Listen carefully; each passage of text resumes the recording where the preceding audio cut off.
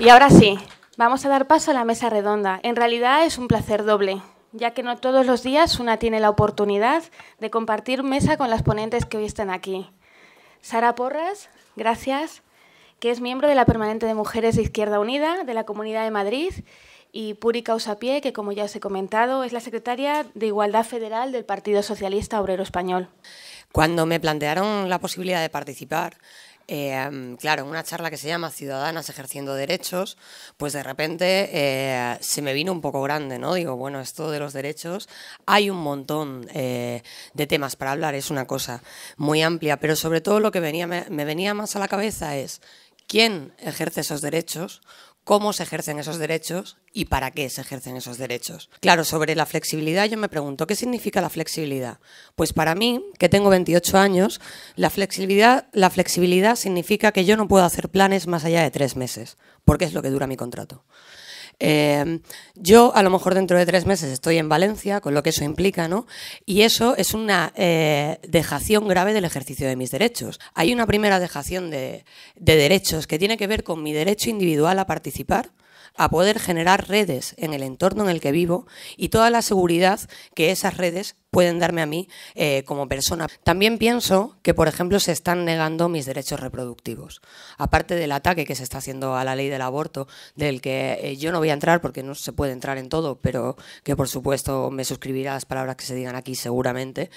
Yo cómo me puedo plantear el ejercer mi derecho a reproducirme, ¿no? Me encuentro en ese momento de mi vida, pero claro, no me da tiempo a un embarazo porque eh, dentro de tres meses no tengo contrato. Y en cuestión de vida, perdonadme, pero somos nosotras las expertas. ¿eh? Nadie sabe mejor que nosotras que las lentejas no son comidas, si no se ponen en agua, se cocinan y se sirven y se ponen en una mesa. Entonces es cuando eso es alimento, no cuando lo compras en un mercado. Y todo ese trabajo que hacemos día a día y que se destruye tan rápido como se hace, es el que hacemos nosotras, es el que hacemos las mujeres con nuestras familias, con nuestros allegados y en nuestros barrios, construyendo vida y creando vida. Si queréis que hablemos de ajustes, yo voy a hablar de ajustes. Los mayores ajustes se están dando en los hogares. Aquí, ¿quién sabe cómo se estructura un sueldo cuando otro miembro de la familia se queda en paro? ¿Cuánto dinero hay que dejar para comprar la compra mensual? ¿Cuánto cuestan las medicinas? Si se rompen las zapatillas, todo eso ¿quién lo hace? Toda esa contabilidad que se hace día a día, que nos quita el sueño a veces y que otras no, ¿no? ¿Quién la hace? Somos las expertas de la economía. A mí me da igual eh, que luego haya un banco que quiebre o que no quiebre, porque la que está en quiebra soy yo. Ha aumentado la tasa de actividad femenina. Cuidado. Eh, resulta que entre los 45 y los 54 años, mientras hay 4 millones de, de hombres trabajando, solo hay 2 millones de mujeres trabajando ¿no? en esa franja de edad.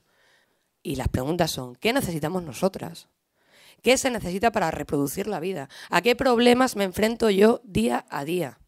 Por eso yo desde aquí lo que os propongo a vosotras es que empecemos a preguntarnos, empecemos a preguntarnos, porque claro, ciudadanas ejerciendo derechos, el derecho al trabajo digno y de calidad se está viendo atacado, el derecho a la educación pública se está viendo atacado, el derecho a la sanidad se está viendo atacado, el derecho a la dependencia se ha suprimido, el derecho a la decisión sobre nuestro propio cuerpo está puesto en cuestión.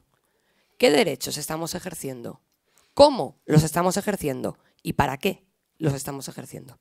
En primer lugar, eh, yo creo que todas eh, y todos somos conscientes de que en este país las mujeres hemos avanzado mucho en los últimos años. En, la última, en las últimas legislaturas creo que ha habido leyes muy importantes que básicamente lo que han venido a decir es que esto de la igualdad es un derecho, es un derecho de las personas y que por lo tanto hay que llevarlo a la ley. Por eso se hace una ley de igualdad y en esa ley de igualdad se incorpora como derecho, eh, por ejemplo, la presencia paritaria de hombres y mujeres en las listas electorales o se incorporan aspectos que tienen que ver con la participación de las mujeres en el empleo que hoy, como luego os contaré, están en riesgo, pero que se incorporan de manera importante en la ley de igualdad. Se hace una ley como la ley sobre salud sexual y reproductiva, que incorpora, eh, digamos, por primera vez saca el aborto eh, y la interrupción voluntaria del embarazo del Código Penal, y eso significa que no es un delito. Si veis los datos en los últimos años, el desempleo masculino proporcionalmente ha crecido más que el femenino. Eh, la tasa de desempleo de las mujeres es más, es más alta, sigue siendo un poco más alta, sin embargo, eh, sea, lo que más ha bajado en los últimos años ha sido el desempleo femenino proporcionalmente, en términos relativos. Eh, claro, eso tiene que ver con los sectores que han entrado en crisis, con la construcción, con la industria, pero esta crisis, ¿cómo va a afectar a las mujeres? Pues básicamente va a afectarlas mucho dependiendo de cómo se resuelva y qué políticas se planteen para resolver esta crisis. Las mujeres cobramos eh, un, 22% menos que los hombres, eh, de, cada 100 que cobran los hombres, nosotros cobramos 78. Eh, y esa es una discriminación muy importante, igual que en los puestos de alta dirección todavía hay muy pocas mujeres, más en el sector público y muy pocas en el sector privado. ¿Y qué pasa con las mujeres mayores? Pues que cuando una tiene un salario menor, si se va al paro tiene menos desempleo y si se jubila tiene una pensión más baja, incluso aunque sea contributiva. Y esto mm, no deja de ser un, arrastrar una situación que se convierte a lo largo de la vida de las mujeres en una situación de mayor precariedad. Bueno, en los temas de igualdad podemos llegar a acuerdos con el Gobierno. Yo creo que es bueno llegar a acuerdos con el Gobierno si podemos hacer que haya propuestas del Gobierno que mejoren. Y nosotros, yo lo voy a intentar, porque yo creo que eso es positivo, ¿no? Y lo vamos a intentar en el Parlamento.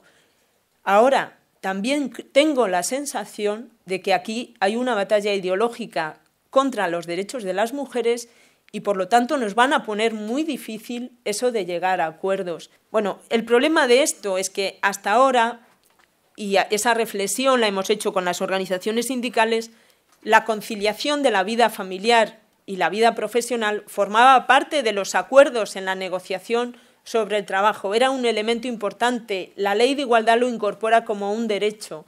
Y esta reforma acaba con eso totalmente porque ya se organizan las jornadas, los tiempos, en función única y exclusivamente de necesidades económicas y organizativas. Decir que hay otra manera de hacer las cosas que no es limitar nuestros derechos ni recortarlos, ni impedir eh, y retroceder sobre lo que hemos conseguido y hemos conquistado en tantos años de lucha.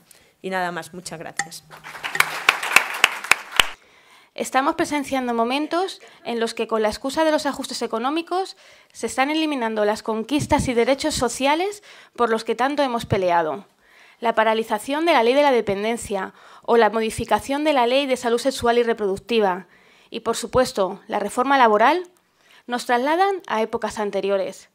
Estas llamadas reformas necesarias nos sitúan a las mujeres de nuevo en el espacio privado y de cuidado, por tanto, ahora, más que nunca, tenemos que estar alerta y seguir vindicando y defendiendo lo que como ciudadanas nos hemos ganado, una vida sin discriminación por razón de sexo.